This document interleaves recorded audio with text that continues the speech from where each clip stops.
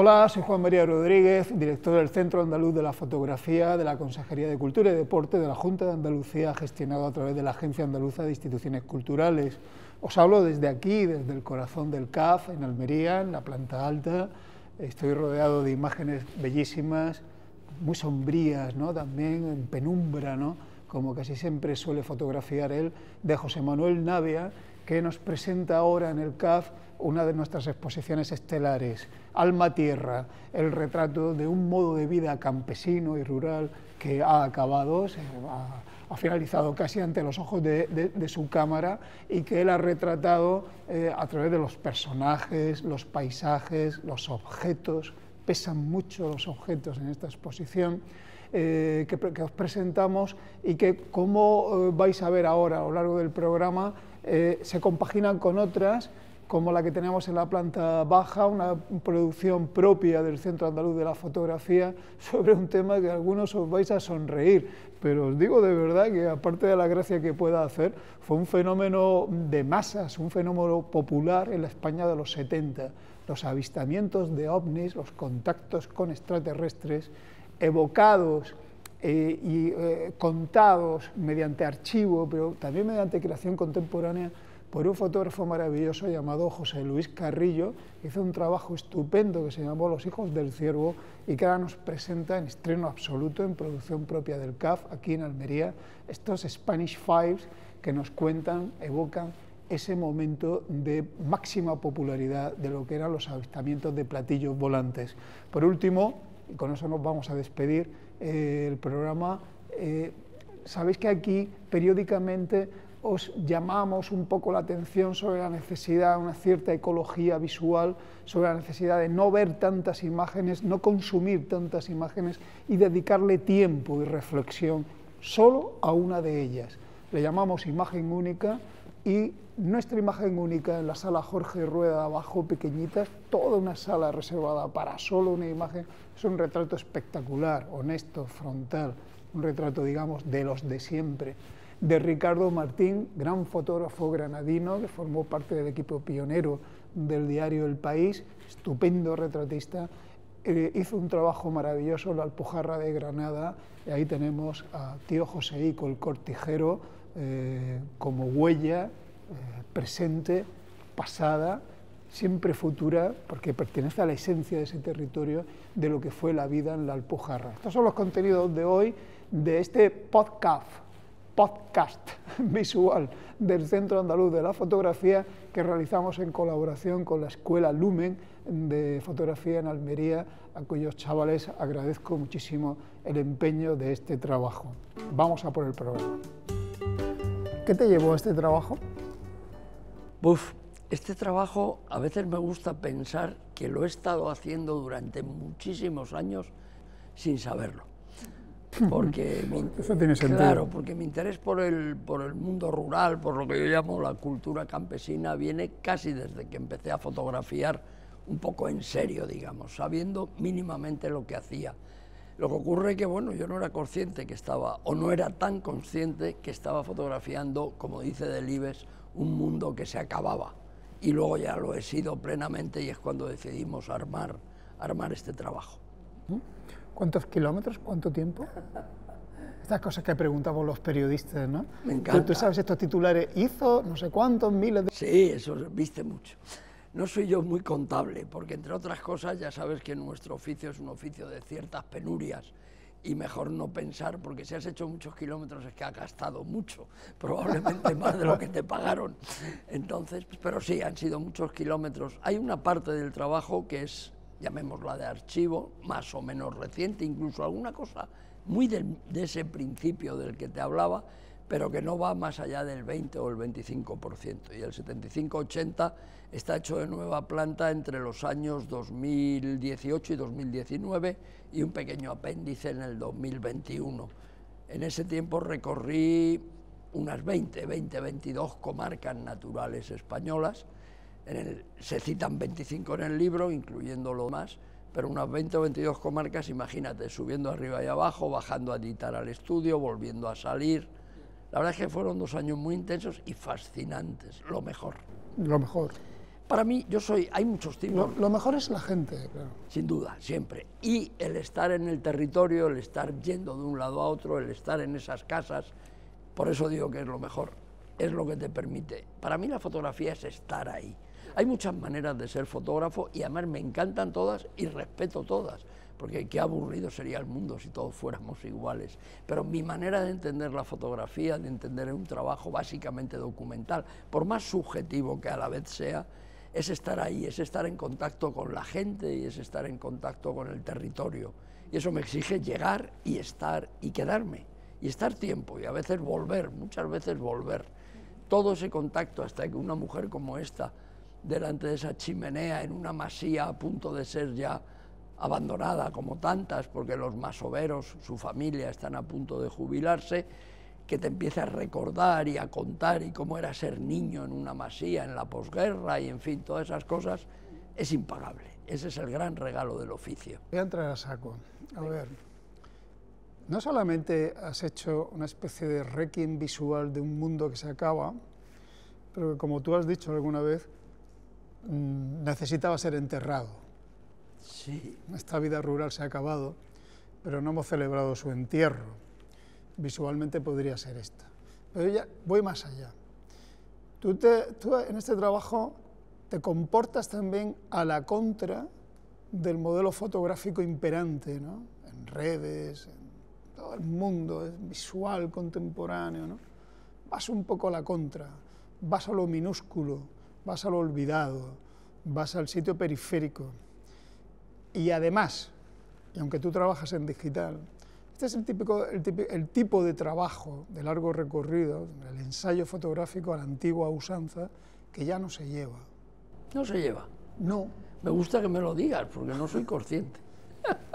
hasta donde yo sé. Entiéndeme, es un poco. Hasta donde yo sé. Es una ironía. A ver, no se lleva. Hay compañeros que están haciendo trabajos también de largo aliento, ¿no? Pero eh, este modo de fotografiar, ¿no? tan empático, tan personal, tan directo, yo creo que se lleva menos, ¿no? Probablemente, probablemente.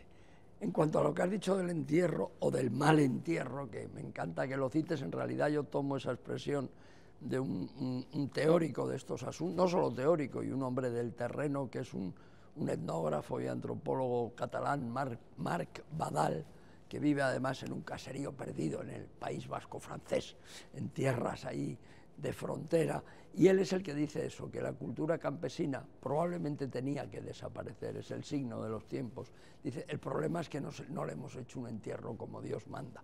Que eso es una frase que va más allá, quiere decir, no es un entierro en plan meramente simbólico, es decir, a lo mejor ahí, en eso que efectivamente tenía que morir, a lo mejor había unas enseñanzas, una manera de entender el mundo, una manera de entender la comunidad, la vida en comunidad, el trabajo comunal, eh, lo, minimalista que tú decías, el ser capaces de vivir con poco, con lo mínimo, a lo mejor ahí sí hay enseñanzas aprovechables. La forma de vida como tal no pero eh, igual que, por poner un ejemplo... la forma de vida es que simplemente ha periclitado. Ha acabado. De los tiempos, ¿no? O sea, que, Todo se transforma, ¿no? también se acabó el imperio romano. Y no pasó nada. Y era maravilloso. Y, Bach estuvo a siglo y medio sin sonar y sobrevivimos a ello.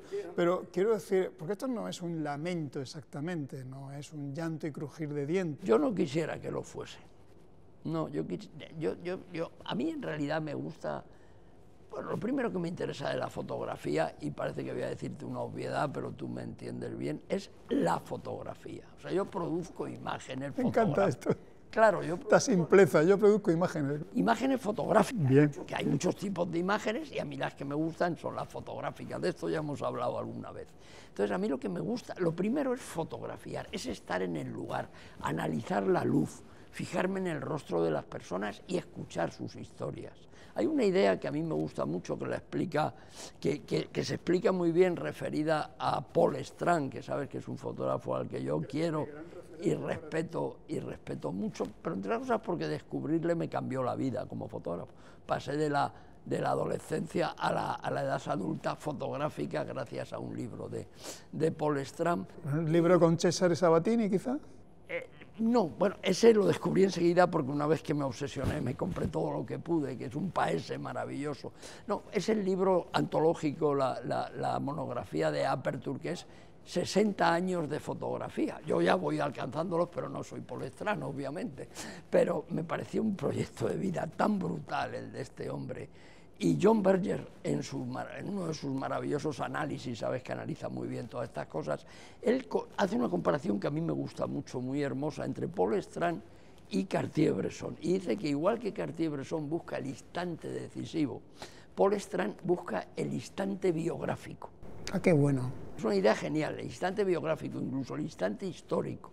Y dice más, dice que, que Strand es como si colocase la cámara en el lugar donde va a ser contada una historia, efectivamente. Y yo ahí me di cuenta que dije, es que yo coloco la cámara donde me interesan las historias. Por eso yo hago un tipo de fotografía que formalmente, incluso técnicamente, es típica fotografía de un reportero. Yo trabajo como un reportero, como tantos compañeros y compañeras de mi generación. ¿no? Yo trabajo como un reportero, pero sin embargo luego me doy cuenta que el trabajo tiene un reposo que a lo mejor no es el típico del reportaje y yo creo, yo creo que viene de ahí, ¿no? Viene de esa necesidad de tomarme tiempo y de esperar, porque lo primero que hay que esperar es la luz. No, el reportaje fotoperiodístico para nada, ¿no? Tú estás, en, otro, estás en otro escalón, ¿no? Eh, tampoco sé si es superior o no. no, es, otro escalón, ya está. Que es verdad que es distinto. Citando a Bernard Plessou, tú buscas el decisivo instante de nada. Claro, o como decía también, ya que nos metemos en harina eh, Frank, a mí en realidad, decía Frank, a mí es que en realidad me interesa lo que ocurre entre dos instantes decisivos. El estar un poco siempre en medio, igual que todos mis temas, si lo analizas, son de tierras de frontera. Sí, porque aquí en muchas de estas imágenes, ocurrir, en el sentido de acontecimiento, de suceso, de acción, ocurrir, ocurrir, no ocurre nada. Ocurre muy poco. Pero está pasando la vida. Efectivamente. Mira, yo hace ya años, y lo hemos vuelto a recordar riéndonos con una queridísima amiga y gran fotógrafa, ¿no? que conocéis todos bien, que es Cristina, Cristina García Rodero, siempre hacíamos una broma.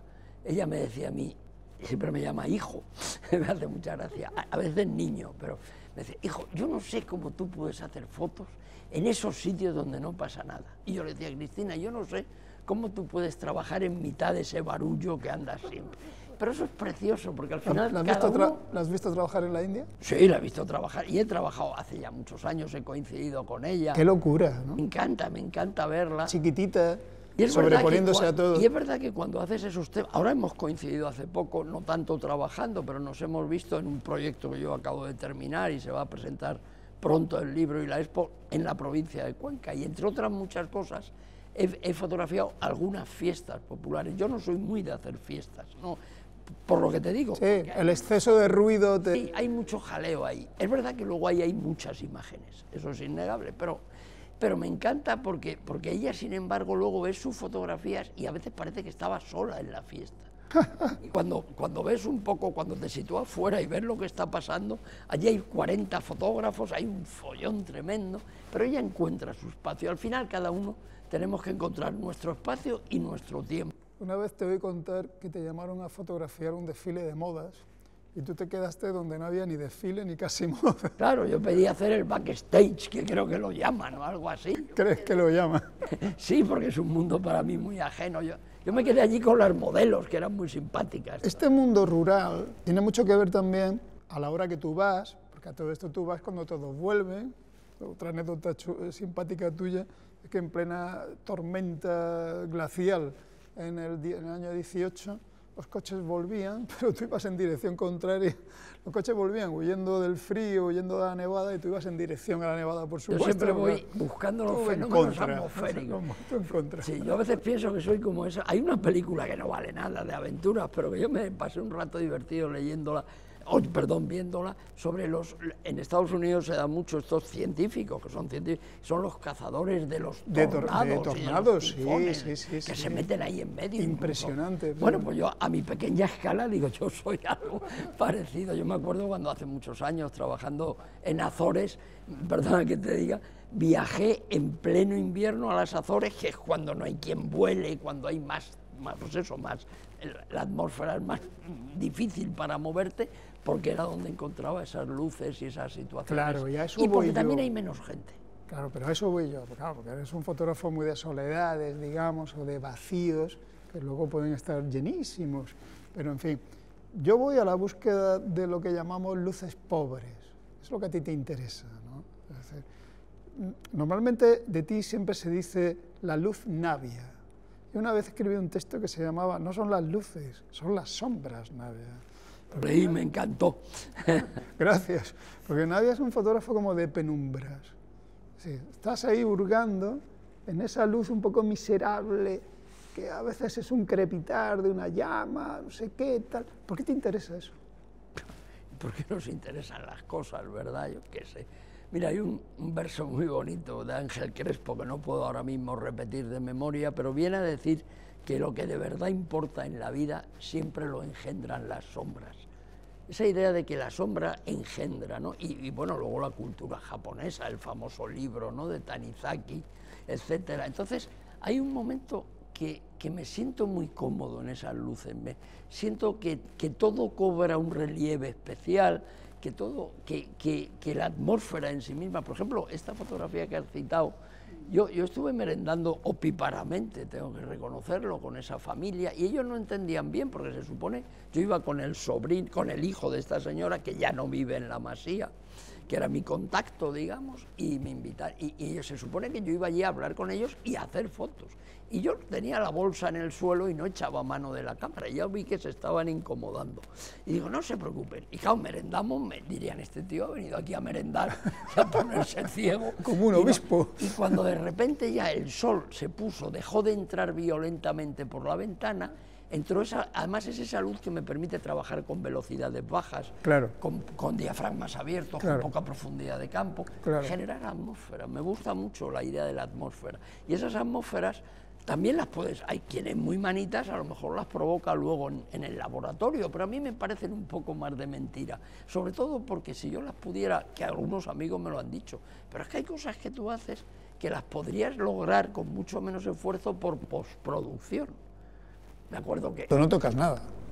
Ahora te digo, toco poco. Pero no, pero a lo que iba... Y yo le contesté, y yo creo que es una respuesta muy obvia, ¿no? Digo, claro, pero hay una diferencia, entonces no lo habría vivido. Claro. Y para mí lo que es impagable es haber estado, aunque no hubiera obtenido una fotografía que me interesara. Y eso, una cosa, José Manuel, ¿la veracidad de la fotografía está precisamente ahí, en la experiencia de la fotografía? En parte yo creo que sí. Lo primero que me encanta es que hayas usado la palabra veracidad, porque hay una afición a hablar de la verdad y, hay otro texto hermoso de Paul Strand que dice que esos grandes conceptos como Dios, la verdad, etcétera, que mejor no ocuparse de ellos y vamos a trabajar en el día a día. Pero la veracidad es un término que me gusta. Yo, yo para mí lo haría, no voy a decir sinónimo, pero casi de la honestidad y del respeto. Claro. a mí lo que me importa es que la realidad que yo fotografío, sentir que la he respetado en sus justos términos, en sus justos valores. Esa es la veracidad. A mí cuando me preguntan ahora en la universidad, los chavales cuando ven algunas fotos les fascina, pero ¿y se puede hacer fotos por la calle y la gente no... y entras en la calle? yo nunca he tenido que tener un permiso por escrito. No hace falta, porque realmente me he sentido tan acogido y como sé que el uso que voy a hacer de la fotografía no solo no les va a ofender, sino que en un alto porcentaje de casos les va a enorgullecer, porque ese factor que tiene la fotografía o esa posibilidad de alguna manera de dignificar la realidad me interesa mucho. Me encanta fotografiar con el mismo tiempo de dedicación y con el mismo respeto a esta señora que al rey de España si me mandaran fotografiarlo, que además lo haría fatal, porque yo no, no soy bueno fotografiando importantes. Además, tú respetas el nombre de ellos. Siempre. Esto es importante. Dice Giorgio Agamben, me interesa mucho, el nombre sustancial en las fotografías. Claro, siempre que puedo, salvo que sean tomas de calle fugaces, pero siempre que hay una relación de tú a tú con el protagonista, esto lo aprendí nada menos que de Dorotea Lange. Dorotea Lange tiene un texto precioso donde dice las personas tienen nombre y apellido, no son seres anónimos. la, cosificación del ser humano empieza por negar su nombre a los presos en los países. Díselo a su madre migrante que estuvo muchos años peleando para, que, para que, le nombraran con su nombre. Que fue una historia tan dolorosa para, para Dorotea Lange porque no era su intención inicial, pero ese es el peligro de este trabajo. ¿no? Oye, estamos acabando, yo no puedo acabar una conversación contigo sin, sin citar una evidencia que además los espectadores la están viendo. ¿no? Aquí hay una cita de Maribel Andrés Llamero, hay citas, bueno, Julio Llamazares, Luis Mateo, Luis Mateo Díez, bueno, eh, a ver, una vez me dijiste una cosa que me encantaba, ¿no? La fotografía es un lenguaje no hablable, pero es un lenguaje. Y está muy conectado, tú buscas las palabras también, porque yo creo que, de alguna manera, en mi opinión, tú reconoces que la fotografía es como insuficiente no lo sé, o necesita la palabra para redondear, eso que también John Berger decía, la plenitud. Y Benjamin también, cuando hablaba del pie de foto. yo, No creo, que la fotografía necesite, la, de hecho, mi último trabajo del que te hablaba antes no lleva más que una cita inicial, que es para explicar el título, y no lleva ni una palabra más. No necesariamente, pero cuando viene bien, ¿por qué no? Es decir, vamos a ver, la fotografía en el estricto sentido, desde el punto de vista de la filosofía, el lenguaje no es un lenguaje, porque no hay un código compartido. Tiene todos los elementos, emisor, receptor, canal, no sé, pero no hay código. Un lenguaje sin código es un cachondeo, con perdón. Pero es un lenguaje, lo llamamos lenguaje porque aceptamos que puede haber lenguajes polisémicos. Lo bonito de la imagen es que una imagen significa distintas cosas para distintas personas y en distintos contextos, por decirlo así, a la pata de llana. Entonces, en ese sentido sí es un lenguaje. Pero es verdad que a veces yo siento que la fotografía puede ser, en esa idea que hablábamos al principio de colocar la cámara donde va a ser contada una historia, la filosofía sí puede ser la llama que prende las historias. La fotografía no es buena para contar historias, no nos engañemos. Las historias se cuentan hablando, se cuentan con las palabras, hablándolas o escribiéndolas, quien lo hace bien. Pero pero la fotografía sí que nos lleva a las historias, nos excita la mente desde el punto de vista, en mi opinión, literario. Por eso para mí hay esa relación, para mí y para tanta gente, tan estrecha entre la palabra y la imagen. Y hay trabajos como este, donde a mí me apetecía compartir con sus lectores y con los espectadores, la gente que viene a la exposición, compartir todas esas palabras que están en el sustrato de estas imágenes. O sea, estas son mis lecturas, mis compañías antes y durante el proceso de creación de las imágenes. Incluso alguna, como la que ha citado de Maribel, nada más acabar el trabajo, que es cuando yo descubro el libro de Maribel maravilloso, de Autobús de Fermoselle, y digo, esto tenía que haber estado en el trabajo. Y aparte, bueno, ahora somos íntimos amigos. Porque tú tienes mucho background literario, además tú viajes con tu cuaderno y tu lápiz por encima casi de la cámara. ¿vale? Hombre, por encima no, pero al mismo nivel, al mismo nivel, Hay, otro, hay otro elemento aquí que me gusta mucho en este trabajo, un pequeño detalle que tienes en una, en una imagen, bueno, un pequeño detalle, no, es la imagen. Y es que tú para contar la historia, una historia recurres al álbum familiar de la familia. Lo que tú fotografías es la foto de ellos en el pasado la metafotografía.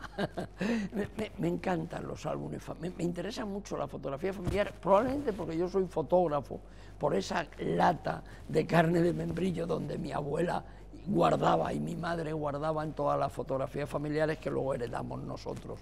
Probablemente, no voy a decir que soy fotógrafo solo por eso, pero que eso me influyó decisivamente, sí. Entonces siento un, siento un gran respeto por ese archivo visual privado de las familias, porque son fotografías que con el paso del tiempo han adquirido nuevos significados y eso es muy bonito. Este tipo de recurso conecta, con la naturaleza de este trabajo en el sentido de rescatar una, la memoria de algo que ha quedado ya atrás, que ha sido como superado, desbancado por el tiempo, pero que sin embargo está ahí, ¿no? Y está en el pasado que late en todas estas imágenes. Sí, es, es como reconocerlo poner esas imágenes en el fondo, y te lo digo sinceramente, Julio Yamazar, el buen amigo que está presente con un texto largo en este trabajo, en el libro y aquí en la entrada de la exposición. En este libro.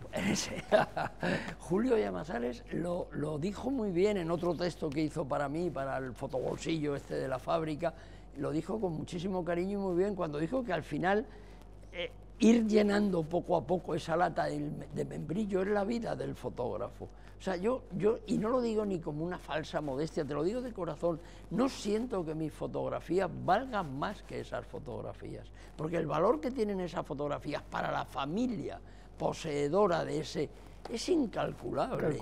Entonces, ojalá yo logre con mis fotografías a gente que no conozco y que no me conoce, transmitirle algo de esa capacidad de empatizar con el tiempo, con las personas, porque al final yo, como tanta gente, tengo la firme convicción de que todos somos iguales, de que las diferencias son de superficie, pero los seres humanos, los hombres y las mujeres, en lo profundo, todos, la, buena gente, que es la, gran mayoría de la gente, todos somos iguales. Muchas gracias, José Manuel, gracias por este trabajo y gracias en nombre del Centro Andaluz de la Fotografía, porque aquí, en este fin de semana que estamos inaugurando tu exposición, que estás aquí, te tenemos eh, casi en plenitud, de, como visionador, eres un maravilloso visionador de trabajos, haciendo una visita guiada, teniendo una charla mano a mano así dialéctica, bueno, en fin, ¿qué te voy a decir? Poca gente como tú pensando la fotografía en España. ¿Qué va? Un eh, placer. Vale, bueno. Un placer. Pues por, por ese placer, muchas gracias. Y gracias a vosotros. Como veis, siempre es un placer hablar con un maestro de la fotografía como José Manuel Navia, porque siempre nos da luz, nos clarifica un poco el paisaje, ¿no? En momentos así de incertidumbre fotográfica, José Manuel Navia sigue siendo una referencia para todos. En el Centro Andaluz de la Fotografía estamos muy contentos de su presencia aquí porque no solo lo tenemos como el gran fotógrafo que es en trabajos globales, por eso mencionaba antes el cartel principal, el mosaico principal de la Expo, no es una sola imagen, son tres, porque José Manuel no trabaja buscando la imagen impactante, siempre trabaja buscando la globalidad del conjunto. ¿no? Pero es un placer tenerlo aquí como fotógrafo, pero además como visionador, ha hecho un visionado en el CAF, como dialogador de la fotografía, hemos tenido un coloquio él y yo en el centro, eh, que también eh, ha sido estupendo, y como eh, propio guía de su propia exposición que la ha contado al público muy amablemente. vamos a cambiar de registro, nos vamos a ir ahora a la España de los 70, los platillos volantes constituyen una de las grandes narrativas contemporáneas del siglo XX. Popular, caló hasta lo más hondo. Mucha gente vio ovnis o conoció a gente que los vio o creyó que los había visto. La visión de los ovnis además tiene mucho que ver con lo fotográfico en el sentido de creer en lo que no vemos, pero parece que vemos, creer en el fraude visual, porque había mucho fraude en torno a la presentación fotográfica de los propios platillos volantes. Bueno, todo este conjunto de cosas y muchas más que vais a ver ahora en esta conversación, las ha abordado José Luis Carrillo en un trabajo que recupera la memoria de ese tiempo, cuando hablar de ovnis en España estaba de moda, cuando 11 millones de oyentes escuchaban un programa de radio por la noche en la cadena SER buscando estrellas raras en el cielo, de todo esto con todo esto, ha hecho un trabajo formidable José Luis Carrillo, que es una producción propia del Centro Andaluz de la Fotografía y que hemos estrenado aquí, en Almería, estos días. Vamos a hablar con él y que nos cuente las claves de estos Spanish Files. ¿Qué te llevó a este trabajo, José Luis? Pues, como no podía ser de otra manera en un tema ovni, una serie de casualidades extrañas, con María define, define casualidades extrañas.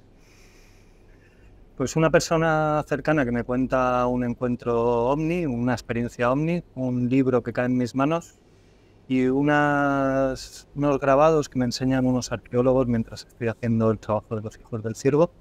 Los elementos que de pronto me muestran algo de lo que yo nunca había puesto atención, que eran ovnis en España y fue algo como, como un poco revelador. Ya. ¿Tú has tenido alguna revelación? ¿Te has visto un ovni? ¿Se te ha parecido un extraterrestre? ¿Te ha abducido alguien? bueno, eso quizás se lo podamos dejar a aquellos que quieran disfrutar del documental, ¿no? Tenemos un documental por ahí en, en revisión y igual ahí pueden averiguar el final de la historia. No te atreves a cantarla. Eso es un término que hemos acuñado ya, ¿sabes? Con María, en el proceso de investigación acuñamos el término de salir del armario ufológico, que era todas aquellas personas que habían tenido experiencia ovni y siempre lo habían mantenido en silencio y finalmente consiguen dar el salto. Eso es salir del armario ufológico. Quizás salga en algún momento. De momento me, me apetece más dejarlo en el misterio. Es curioso, es, muy simpático, José Luis, lo que está pasando con esta expo. Porque claro, si tú anuncias una expo sobre cómo fue el boom de los platillos volantes en la España de los 70, que fue un gran boom, eh, si hablas de extraterrestres, todo el mundo es como que se medio sonríe, pero inmediatamente, inmediatamente, inmediatamente, dicen que ellos o han visto algo, o conocen a alguien que ha visto algo, o no sé qué, no sé cuánto. Es decir, de repente todo el mundo conecta con la historia porque la historia va más allá de lo que puede aparecer de una historia de frikis, de piraos, de no sé qué cosa. Sí, eh, de hecho ese fue mi, proceso en la investigación. ¿no? Primero me atrae una idea y en cuanto me asomo a esa idea, que era esa realidad, que fue el fenómeno social de los ovnis en España en los años 70 y 80, de pronto me encuentro con que detrás hay un trasfondo y un calado de mucha mayor profundidad, con sesgos de corte antropológico, social, mesiánico, etcétera, etcétera. Y además cuando estoy en el proceso de investigación me ocurre exactamente lo mismo. La gente puede más o menos ir, sonreír en torno al tema que estoy haciendo, pero todo el mundo tiene una opinión y todo el mundo tiene a alguien que en cierta manera ha vivido esos hechos. Y eso nos da una medida de, eh, el calado de la idea, del calado de esa realidad. Está realmente imbricado dentro de, nuestra sociedad, dentro de nuestra, de porque, como apuntabas, apela a cosas que son universales. ¿no? es algo anecdótico de naves extraterrestres, sino que, como decía antes, apela a cosas universales. Bueno, vamos a ver, vamos a centrar la cuestión. A partir de la Segunda Guerra Mundial, eh, el fenómeno ovni, la identificación de sucesos raros en el cielo que no tenían una explicación lógica, ese que se considera mm, propios de objetos no identificados, ¿no? O llevan una balística extraña, y etcétera eh, eso se, dispara globalmente en el mundo. En España, a finales de los años 60, ya se empieza a producir un boom de avistamientos, es como una pólvora que prende. Eh, en los años 70 esa pólvora ya estalla definitivamente y se traduce en programas de radio como Medianoche de la cadena SER, Antonio José Alés, que decretaba alertas ovnis y ponía a 11 millones de personas, 11 millones de personas, a mirar al cielo buscando a ver si había algo raro por ahí. Se multiplican las asociaciones ufológicas de estudio, de, también relacionadas con temas de parapsicología y tal, se mezclan cosas ahí, ¿no? Pero mm, se, multiplican, se expanden. Eh, sucede en la televisión un fenómeno como Jiménez del Oso, que tenía audiencias también fabulosas ¿no? en aquella época y empieza a producirse mm, en los periódicos. El diario ABC tenía un corresponsal en platillos volantes reconocido, Carlos Murciano, el único periodista de este país que ha sido corresponsal en platillos volantes. Esto es maravilloso. Bueno, en fin, estamos hablando de algo que no, no nos estamos inventando el tema, ¿vale? El tema tuvo un calado popular tremendo tuvo un calado popular por muchas razones. ¿Tú cuáles destacarías? La parte religiosa de, yo qué sé, secularización de la sociedad que traslada lo religioso al, fenómeno extraterrestre, la parte mesiánica, porque se decía que el mundo se iba a acabar y los extraterrestres nos iban a rescatar, no sé qué, no sé cuánto, la parte política que, que pueda tener esto. Para ti, ¿cuáles son las interesantes de la investigación que tú has hecho? Eh, para mí lo, interesante es que en este trabajo y en, ese periodo de los 80 en este tema, eh, colisiona varias realidades. ¿no? España se encontraba al final de una dictadura y anhelaba un día de libertad, Necesitaba cambios, estaba demandando cambios. Y luego además nos encontrábamos con un periodo en el que las creencias religiosas empezaban a estar en crisis y oleadas de nuevos pensamientos sobre todo el New Age estadounidense, etcétera, etcétera, empezó a entrar. Entonces, tenemos por un lado una sociedad que demanda una libertad, que demanda un futuro mejor, una sociedad que está empezando a desarmarse de las viejas creencias religiosas y que de pronto empiezan a aparecer fenómenos en el cielo, anómalos, extraños, eh, artículos que aparecen en, en periodos más, que son los que acaban generando el, el fenómeno el fenómeno OVNI. Y para mí lo, lo importante está precisamente ahí, ¿no? Cómo esa idea de lo extraterrestre acabó calando de una manera tan profunda dentro de la, de la sociedad. La idea de que eh, poblaciones extraterrestres se estaban poniendo en contacto con nosotros es una idea que, como ya hemos visto, eh, fue mayoritaria. No se trata de unos pocos o unos frikis. O... No, no, es que es una idea que caló de manera no, no corresponde a un estrato social o de nivel educativo, sino que fue transversal. Y eso esos dos aspectos, el aspecto social y el, aspecto eh, histórico, yo creo que son lo que hacen que este tema tenga todavía posibilidades de, reflexión, ¿no? Y por eso lo vuelvo a traer aquí, ¿no? Yo creo que en ese momento en España se vivió un periodo muy convulso, muy interesante y que uno de los aspectos interesantes que a veces nos olvidamos es este, el, de, el del fenómeno. Tú esto lo documentas, eh, con, eh, aportas eh, documentos desclasificados de la época, bueno, hacer retratos con testigos presenciales o que, que, tuvieron contacto directo ¿no? con, con, estos casos, algunos de ellos un teniente coronel del Ejército del Aire. Te has encontrado incluso con gente que muchos años después de haber vivido esta experiencia, como que no habían salido del armario de ella, ¿no? O no la habían depurado suficientemente, no sé cómo decirlo, pero como que les choqueaba todavía hablar del asunto, ¿no? O sea, que el tema... Sí, sí de hecho, eh, al principio ese aspecto fue el que más me impactó y, por el cual aposté en la realización del trabajo. El trasfondo humano que, se, que ocurría con aquellos protagonistas yo me centré mucho, el pilar central del trabajo está basado en los, los de los principales casos que ocurrieron en esos 70 y 80. Ha sido una labor de investigación de varios años, conseguir dar con esos protagonistas. Muchos de ellos no habían vuelto a hablar del tema, querían saber nada del tema, y yo conseguí encontrarlos. Em, como ya yo ya conocía su caso, y ellos tampoco querían hablar mucho, dediqué más tiempo a hablar con ellos sobre lo que había ocurrido después del, caso, cómo había sido su vida. Y en la mayoría de los casos me encontré verdaderos dramas humanos. Eh, gente que había perdido su trabajo, su familia, por aquellos hechos vividos y aquellos hechos que luego fueron publicados en, prensa. Eh, muy lejos de esa visión tópica que podamos tener de un eh, una persona un poco oída mentalmente, que es una visión generalista en torno a, a, su Bien. Entonces, esa investigación, esa parte humana, fue la que más me, me impactó, ¿no? ese trasfondo humano. Eh, el, fenómeno fue, el fenómeno fue global, pero ¿qué identidad, ¿qué identidad nacional le darías tú? Porque en España hubo como también unos casos de una picaresca delirante, ¿no? De una de, de caso Unmoz muy célebre, ¿no? que deriva en lo que fue un auténtico fraude, ¿no?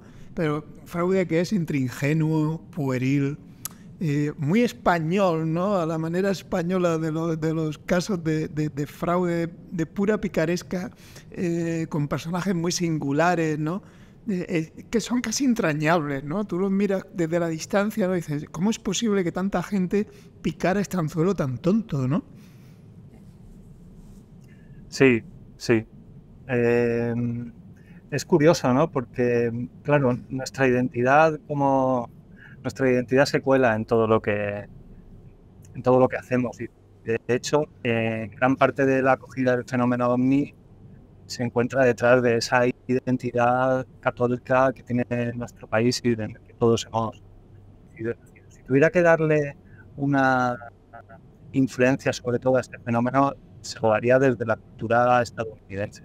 Creo que gran parte de la iconografía que supone el fenómeno ovni fue creada por Estados Unidos a los platillos volantes, la tecnificación, los seres de verde, toda esa iconografía fue en Estados Unidos y, por así decirlo, nosotros la, a la hora de interpretar aquello que estábamos viendo, estábamos también proyectando aquella iconografía que había venido de, Estados Unidos. Quizás también en esa búsqueda de modernidad pues, miramos a Europa y miramos a Estados Unidos. identificamos desde la música,